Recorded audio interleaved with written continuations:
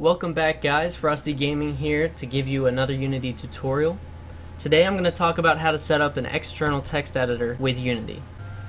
There are these things called scripts in Unity that you're going to write and it's program code that's going to add functionality to your game. In order to write these scripts, you're going to have to use some kind of external tool, a text editor or an IDE, to write the code. Personally, I use Visual Studio 2012.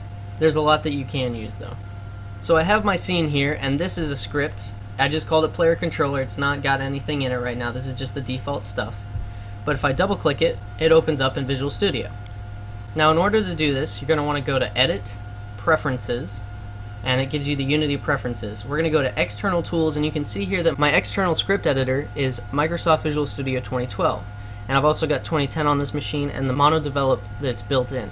This is default. If you downloaded Unity and you haven't messed with this, then MonoDevelop is going to be what shows up. Now if you don't have the option that you want, you can look for the executable through Browse. So let's say I wanted to use Sublime. I could get the path, I could go Program Files, Sublime Text 2, and then open up the executable for Sublime Text 2. Now when I open up my script, it opens up in Sublime.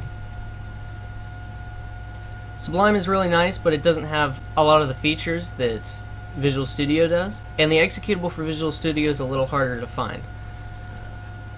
So if we want to go find it, if it's not in this list, if you have the full version of Visual Studio, you're going to want to go to your local disk, Program Files 86, Microsoft Visual Studio, the latest version, so the highest number, Common 7, IDE, and then it's going to give you get you into this folder.